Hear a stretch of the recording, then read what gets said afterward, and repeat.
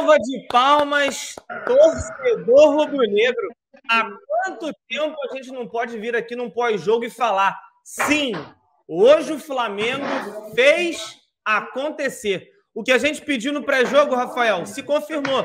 Pedimos o quê? Além do resultado, uma partida que credenciasse o Flamengo torcedor rubro-negro a ficar tranquilo, a ficar esperançoso. E a partida de hoje teve todos esses aspectos, todos esses ingredientes e com direito a mais um show de Michael, que fez dois gols, um deles uma pintura, um belíssimo chute para coroar essa goleada para cima do São Paulo de 4 a 0. Não é querer passar pano, mas uma brincadeira antes que me critiquem. Ninguém conseguiu vencer o São Paulo os dois turnos, a não ser Renato Gaúcho. dorme, dorme com essa aí. Cara, é interessante. Bom, o jogo de hoje é, é um jogo para comemorar. Um jogo para comemorar. É, algumas coisas que eu notei hoje, falar rapidamente aí das primeiras impressões que eu tive do jogo. Há muito tempo não via um Flamengo tão intenso. Esse time está diferente do que vinha jogando é, é, as coisas, as, alguma coisa mudou muito, mudou muito. O time do Flamengo às vezes era um time sonolento, às vezes era um time acomodado. Hoje o Flamengo foi intenso. E o primeiro gol reflete muito isso aí.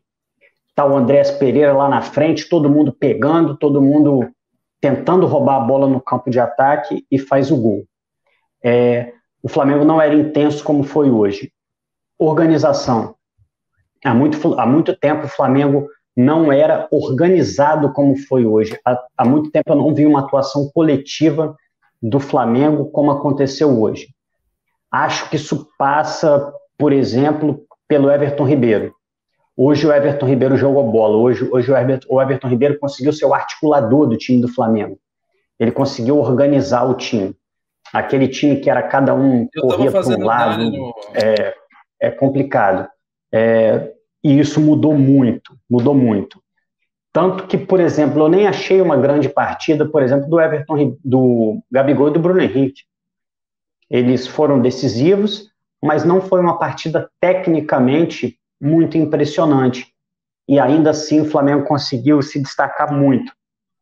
Então eu estou feliz como há muito tempo eu não estava no final de um jogo do Flamengo. Agora, é agora eu queria pedir licença, Cleito, e dar o boa noite para todo mundo, né? Cheguei um pouquinho atrasado que estava lá na Dali. Mas eu, primeiramente, antes de tudo, eu gostaria de dar o meus, meu boa noite e o meu sincero chupa. Chupa, mas chupa assim, chupa redondo para a galera que criticou o palpite meu e do Rafa. Tá bom? Um chupa bem redondo para vocês. Quando a gente falou 3 a 0 todo mundo, vocês estão loucos, que não sei o que, não sei o que. Erramos, Rafa. Erramos. Erramos. Felizmente erramos, né, Rafa? Mas a gente estava certo. A nossa teoria, a nossa teoria foi perfeita. Eu fiquei só lembrando de vocês aí, tanto quando Nadália falava, pô, essa era a hora do Rafa pintar Nadália de surpresa para a gente mandar todo mundo para aquele lugar, né? E, e, e, realmente, cara, a nossa teoria foi exatamente essa, Rafa. Era o que a gente esperava. Era o time fazendo aquilo que a gente mais gosta de fazer: toques de bola objetivos e rápidos, jogando com profundidade, marcando alto, né? Tendo o tal da, da, tal da famosa linha que a Flá Tática adora falar. Um abraço para o Bruno Pet. Hoje a gente conseguiu reparar isso. Então, assim, uh, se for dessa forma, com esse time quase completo do, do Dream Team do Renato Gaúcho, se jogar dessa forma, não tem para ninguém, cara. Agora, o problema é por que, que chegou agora para jogar dessa forma? Entendeu? Demorou muito. E, e, e, eu peguei o finalzinho do que o Rafa estava falando sobre a questão do Everton Ribeiro, e é exatamente isso. Quando o Everton Ribeiro participa do jogo, o jogo flui. Quando o Bruno Henrique acorda, o jogo flui. E assim sucessivamente. Então, assim, foi uma consequência de fatos que a gente já esperava e que não era impossível o Flamengo dar as caras, e pelo menos deu essa cara aí agora. E eu espero que essa cara siga até o dia 27 de novembro. Eu acho que o começo do jogo foi condicionado. Eu acho que a expulsão foi condicionada pelo banho de bola que o Flamengo estava dando no São Paulo e fez o, e fez o atacante perder a cabeça. É, de cara eu tinha achado até que ele, que ele tinha tentado ir perder o tempo de bola, mas depois a gente viu nitidamente que ele foi com o pé mais alto que a bola, o que ocasionou a expulsão dele. Correto. É, a verdade é que o Flamengo sufocou o São Paulo, o Flamengo surpreendeu o São Paulo com uma marcação alta logo no começo do jogo. O Flamengo não vinha fazendo isso com muita frequência. É, eu acho que a expulsão foi muito mais consequência do que causa. Não foi a, não foi a expulsão do Caleri que ocasionou o banho de bola do Flamengo. Eu acho que o banho de bola do Flamengo deixou ele um pouco irritado. A gente viu a irritação de alguns jogadores do São Paulo. O, o Reinaldo deu um show porque o Misha né, praticou a arte dele no futebol. A gente conhece essa jogada do Michael. E aí, e aí você viu alguns jogadores aí um pouco destemperados e acho que isso se materializou muito na entrada do Caleri. Mas não mas não acho que, lógico, é a expulsão do Caleri até pode ter facilitado as coisas para o Flamengo. Mas, na verdade, hoje o Flamengo se ajudou como nunca se ajudou, como nunca não, mas como não vinha se ajudando. Hoje o Flamengo estava interessado no jogo, intenso, organizado, é, objetivo. É, hoje o Flamengo volta a fazer uma grande partida. E aí aquela promessa do Renato, que no dia 27 nós veríamos o Flamengo que nós estávamos acostumados, e aí acho que ele se referia ao Flamengo que vinha de excelentes resultados, é, essa promessa parece mais factível a partir de hoje. É, esperamos uma boa partida contra o Corinthians, uma boa partida contra o Inter, para a gente chegar. E a gente, se esse time chegar jogando no nível de Flamengo contra o Palmeiras, o resultado do jogo é determinado por uma série de fatores, mas eu acho que o favoritismo até volta para o nosso lado. Esse favoritismo, esse negócio é besteira, né? Mas chega é. pronto para ser campeão. O Glaucio Pitanga mandou: para os esquecidos ficou bem claro e nítido do porquê demitir o Rogério Ceni. Obrigado, Glaucio. É sempre bom lembrar. Hashtag fora Ceni. E, a, o, de, e o de baixo do Rodrigo Levino. Aí, meus amigos, esse aqui é para deixar a noite, a noite, né? Já são seis e seis e oito, para deixar a noite bonita, Rafael. Melhor partida do Flamengo com o Rogério Ceni na beira do campo. Ó, um espetáculo seu comentário, meu amigo. Um espetáculo. A melhor partida. Hashtag fica Sene. O cenismo vive. Não é não, Rafael? É, o cenismo vive. Eu acho que o Calvo estava querendo, estava com a vontade de ganhar esse jogo. Eu vi ele de bracinho cruzado ali, no, quando ele estava insatisfeito, ele estava com a gana de ganhar esse jogo. Acho que para mostrar para o Flamengo que houve uma certa injustiça na, na demissão dele, mas infelizmente para ele o, o jogo acabou mostrando o contrário. Mas eu só gostaria de lembrar uma coisa: é, a título de brincadeira vale muito, mas é, eu quero dar mais mérito para o Flamengo de hoje do que dizer que o São Paulo não fez uma boa partida. Também acho. O São Paulo foi surpreendido pelo Flamengo. O São Paulo foi sufocado pelo Flamengo e o São Paulo não soube jogar contra um Flamengo tão dominante. Então, assim, eu gostei da participação.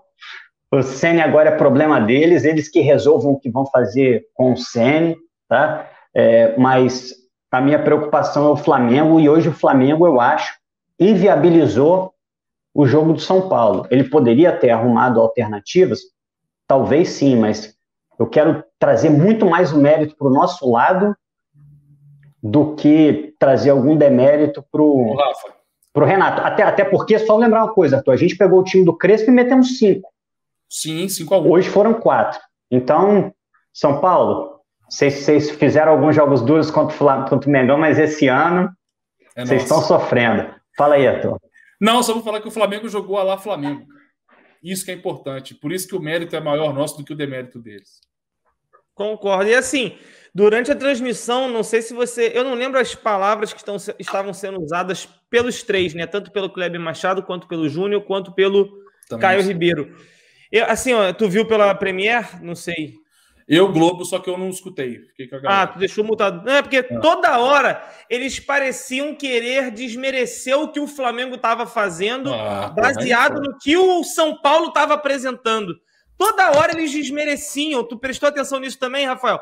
E eu acho que é muito pelo Puts. contrário.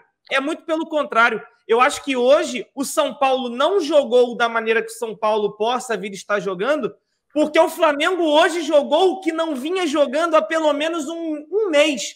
Se você pegar um recorte de um mês para cá, o Flamengo vencia, mas não era um jogo convencendo o torcedor. Por mais que a gente ficasse feliz e a gente sabia de, algum, de algumas, algumas características que o Flamengo vinha apresenta, apresentando de, detalhes assim para melhorar. Por exemplo, vamos dar um exemplo. Hoje o Flamengo com um a mais, 2 a 0 no placar. Se o Rigoni domina aquela bola, podia dar. Podia. Entendeu? Aconteceu a mesma coisa no último jogo contra o. Agora eu também esqueci, contra o. Esse último agora, quem foi que a gente Bahia. Bahia. Bahia. O Flamengo estava 2 a 0 teve uma bola que o zagueiro do Bahia encontrou o Nino Paraíba pela lateral. Lance que vai acontecer, mas é o momento de você estar tá ganhando, você tem que minimizar isso, tentar dificultar o jogo para o seu adversário. E no jogo passado e hoje, tiveram alguma, alguns momentos que, mesmo prejudicado com um a menos, o São Paulo e o Bahia tiveram ali uma chance que o Flamengo é. deveria brecar. Não estou dizendo que isso é o fim do mundo, é mérito também do adversário. Mas o Flamengo tem que, às vezes, jogar um pouquinho mais consciente. Jogou consciente durante boa parte do jogo hoje. Esse lance deu aquela pecada, mas não vai, não desmerece a grande partida que fez o time. Pelo contrário. Pelo contrário, exatamente. Concordo, eu concordo com você. A gente até comentou isso lá na Dari, cara. Que é tipo assim: a, a, uma coisa legal de ver é quando você faz um, faz dois, quer fazer o terceiro, quer fazer o quarto, você tem isso. que matar o jogo, você tem que o tempo todo querer matar o jogo. Inclusive, foi uma das coisas que a galera lá na Dari que estava assistindo com a gente mais reclamou, entre aspas, né? Porque não era reclamação. Hoje não é um dia de. Hoje não, não existe crítica, hoje não, não tem que ficar com nada, né? Uh, mas tem que, tem que ser. Tem que, temos que opinar o que tem que opinar, né? Então, assim, a galera comentando que o Bruno Henrique às vezes estava dando uma dormida. E essa dormida do Bruno Henrique, por exemplo, ela poderia ser fundamental para a gente destruir o São Paulo ainda mais, mas que ela também poderia ser fundamental no, no, no revés. Então, por exemplo, a gente perdeu dois gols ali no primeiro tempo. Se a gente termina o primeiro tempo com 4 a 0 irmão, nossa senhora, tá ligado? Então, assim, uh, seria fantástico. O segundo tempo ainda melhor. Mas que tiveram dois gols perdidos, tivemos dois gols perdidos ali que foi simplesmente por uma solonência. Mas que, cara, beleza, faz parte, não, não, não, não deu nenhum problema isso. Mas que em jogos mais difíceis, no jogo contra o Palmeiras, por exemplo, a gente não pode deixar esse lance passar. O time tem que estar ligado e acordado 90 minutos. O Newton, que mandou a mensagem até no nosso grupo de membros, tirou uma foto no meio da torcida do São Paulo, cara. Aí ele botou Caraca. aí agora. Salve, galera, saindo do Morumbi. Michael realmente deu um show. Os São Paulinos ficavam aterrorizados quando ele pegava na bola.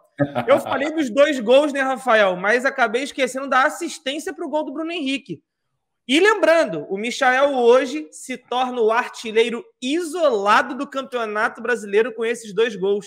Ele ultrapassou o Hulk e ele ultrapassou o Gilberto do Bahia. Então, assim, mostra o quanto esse momento do Michael é fantástico, irmão. É, cara, é, é, é impressionante é, até, é, vamos dizer assim, a redenção do Michael.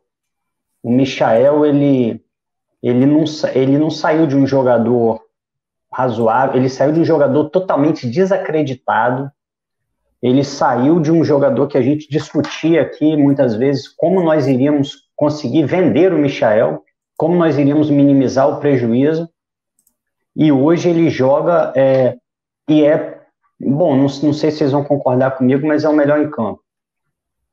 E é um jogador Hoje, que tem sido melhor em campo. Há pelo menos um mês o Michel é o melhor ah, sim. em campo. Sim, pelo sim. menos um mês. Sim, exatamente.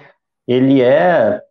A gente pode. É lógico, né? A temporada vai ser muito definida pelo que vai acontecer daqui para frente, mas, sim. sobretudo em relação ao que acontece no segundo semestre, a gente pode até dizer que o Michael pode ser o jogador mais importante do ano no Flamengo. Sim. É... E eu fico muito feliz com essa recuperação do Michael, Rafa, porque é um cara que merece demais.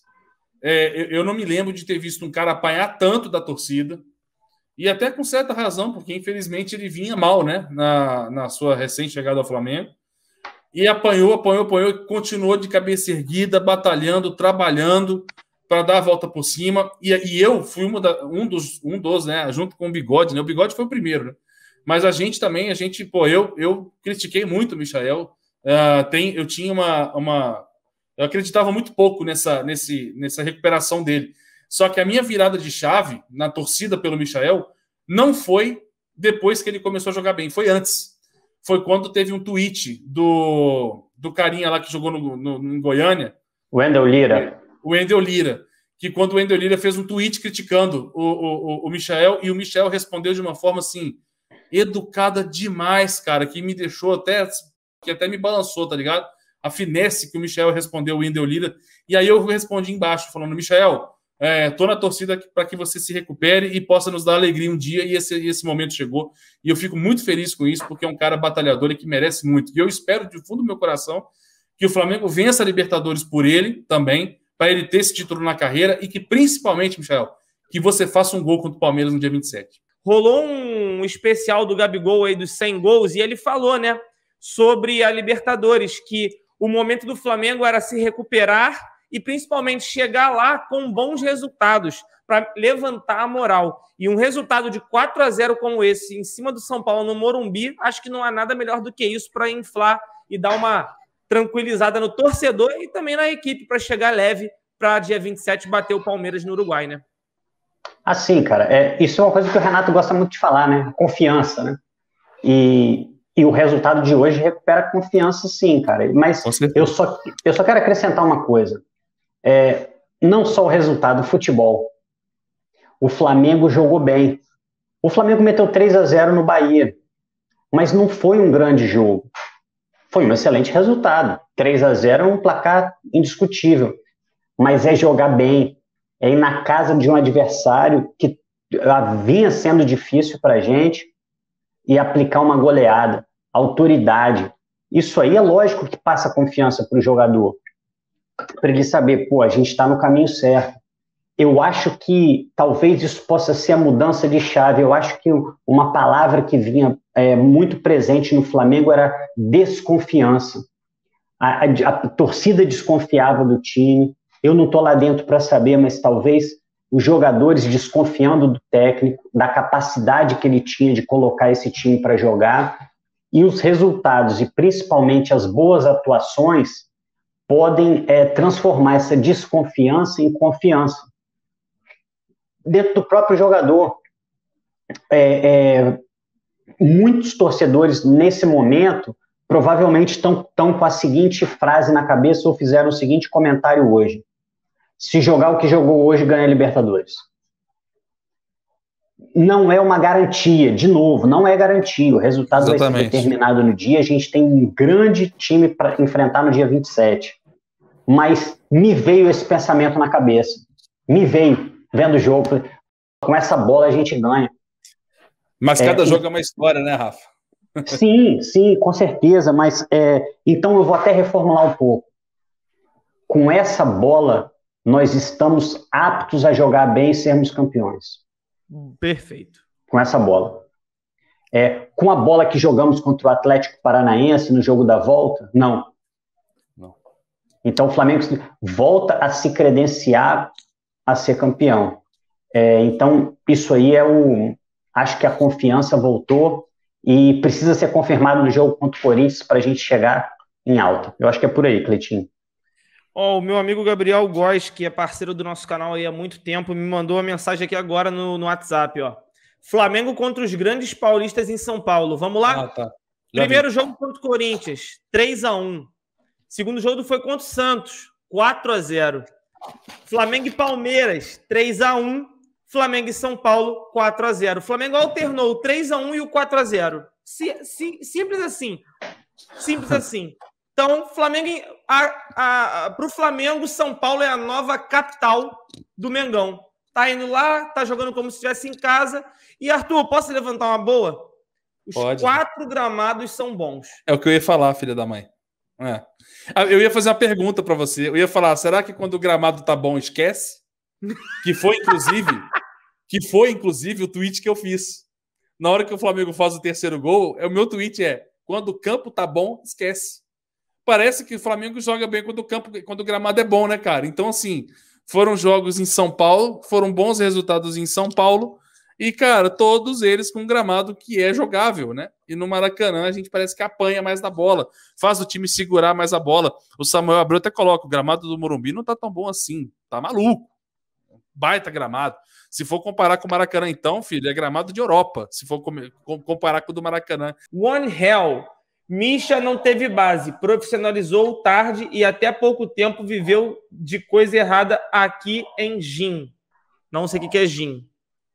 Hoje é o melhor driblador do Brasil, tem um potencial enorme. O que seria Gin One Hell, por favor? Deve ser a sigla de alguma cidade de onde o Michael vem. Eu vou até lá ver, mano. Peraí. Eu não sei exatamente é, esse dialeto aí, não, não consigo. Foi de quem? O Comments?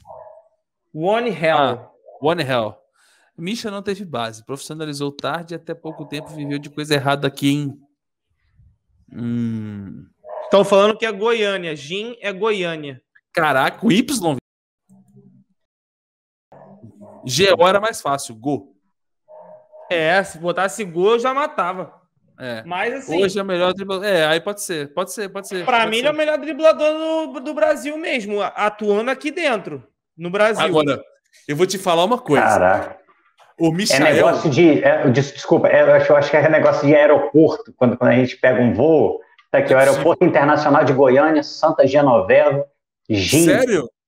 GY. Caraca, Maria. É tipo o cara que chama Belo Horizonte de BHZ, por causa do aeroporto. E Vitória de VIX, com X. É. é então, mas o Michael, ele não é o melhor driblador. Não é. Ele é o cara mais inteligente para driblar. É diferente. Vou explicar por quê. O Michael, quando ele pega na bola, ele não fala na cabeça dele, ele não pensa assim: vou pegar, vou puxar para direita, vou puxar para esquerda, depois eu puxo para direita de novo, aí eu vou para dentro e chuto. Ele não pensa isso. O Michel ele pega a bola e fala: aonde esse zagueiro balançar, eu vou para outro lado. Simplesmente isso. Então ele, o Michel ele pega a bola, ele vai para cima. Se o zagueiro faz isso aqui, ó, ele vai para outro lado. Se o zagueiro faz isso aqui, ó, ele vai para outro lado. Ele não pensa isso antes. Ele decide por causa da reação do zagueiro. É como, é como o Gabigol bater no pênalti. O Gabigol não fala, vou bater no canto direito. O Gabigol ele vai na bola, fala, onde esse goleiro jogar o corpo para um lado, eu bato no outro. E é isso, irmão. Então ele não é o melhor driblador. Ele é simplesmente o cara que pensa mais rápido.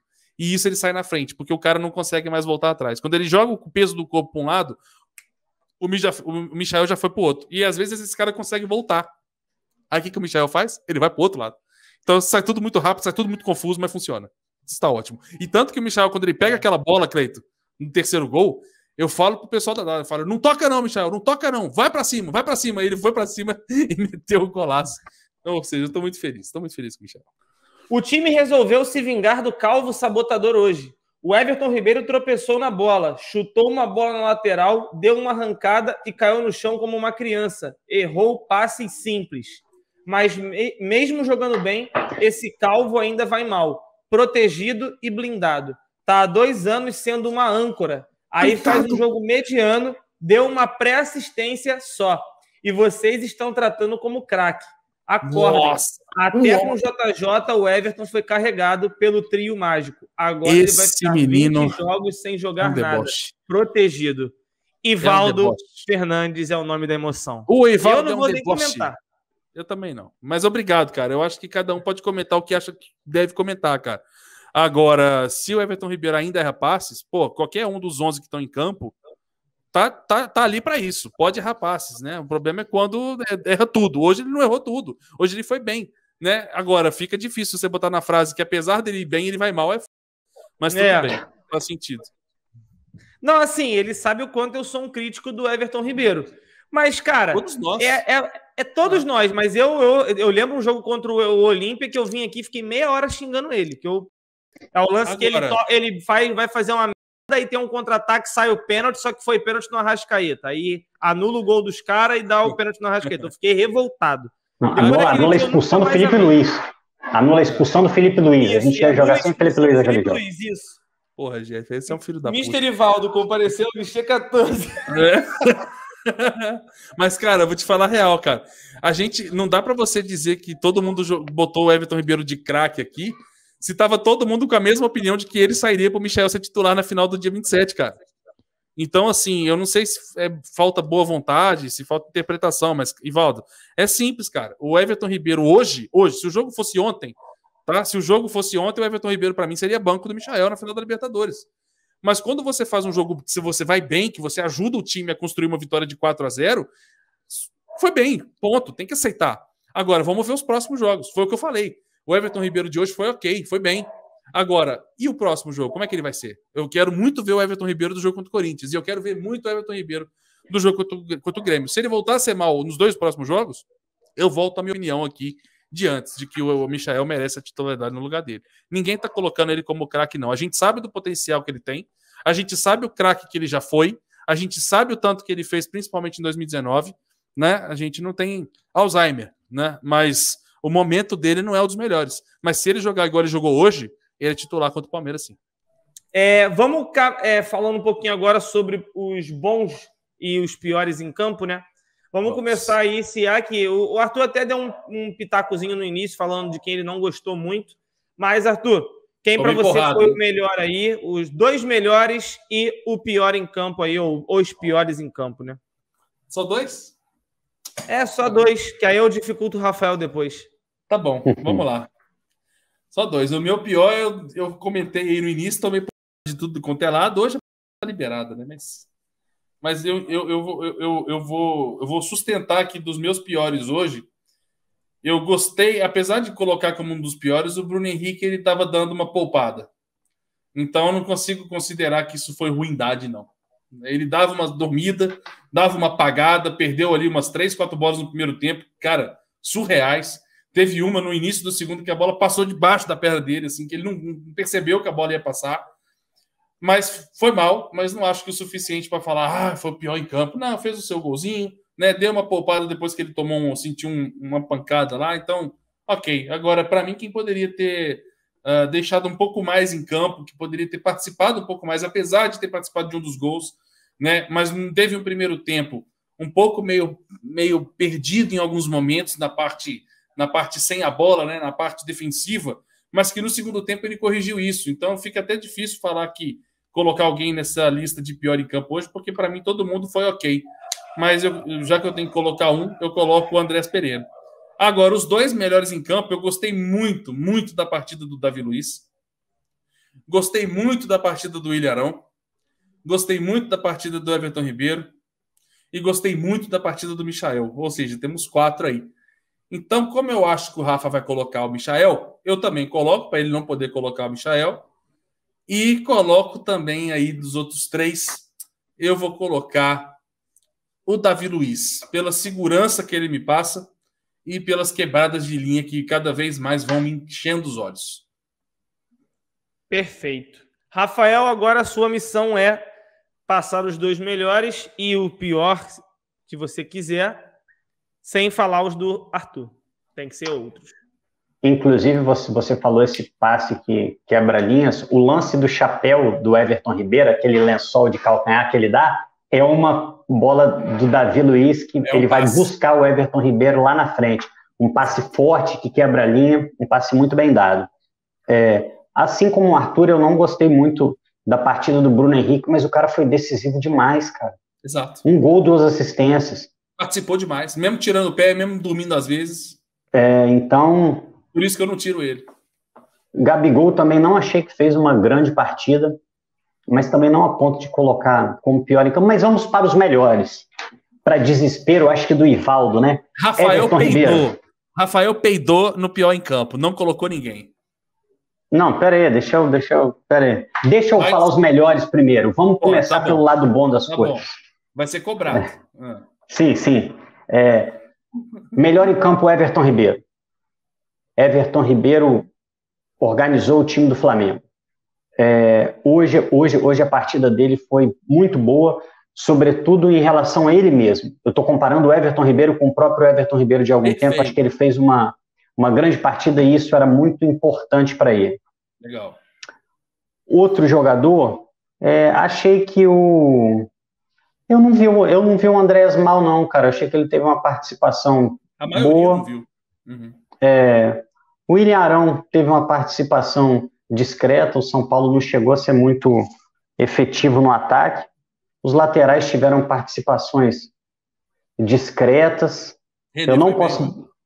eu não posso botar o Davi Luiz, né, que você já colocou Nem Michel.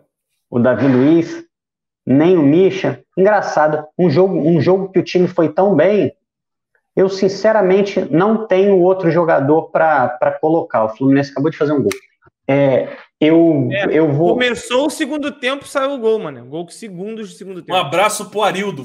Arildo, um abraço para você. Cara, eu não vou. Eu vou. Eu posso manter só o Everton Ribeiro como melhor do jogo, como um destaque. Eu achei que ah. o time do Flamengo manteve um padrão. É, e os jogadores que tiveram um pouco acima foram os dois que o Arthur falou, mais o Everton Ribeiro. É, achei que o Neneca foi exigido poucas vezes, mas quando foi exigido ele estava lá, apesar de não ter sido um jogo que ele conseguiu se provar. Rodrigo Caio foi pouco notado, jogou pouco. Cacete, quem que eu vou botar como pior, cara? Cara, talvez o, o Arão pode, pode me dar. Ah, o Rodinei teve, teve pouco tempo, talvez o Arão pudesse ter participado um pouco mais pelo fato do São Paulo não ter atacado tanto, mas também não acho que ele foi mal, não.